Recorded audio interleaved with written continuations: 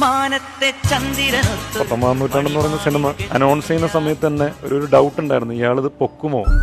ശ്രുതി ആ ടൈമിൽ ക്യാരിങ് ആയിരുന്നു ഞാൻ ശ്രുതിനെ ടേക്ക് കെയർ ചെയ്യണ്ടായിരുന്നു. ആ സമയത്ത് ശ്രുതി എന്നെ ടേക്ക് കെയർ ചെയ്തുകൊണ്ടിരിക്കുകയായിരുന്നു ഞാൻ ദേഷ്യപ്പെട്ടിട്ടൊക്കെ ഉണ്ട്. ഇതൊക്കെ സഹിച്ച് എന്റെ കൂടെ നിന്നതിൽ എനിക്ക് എത്ര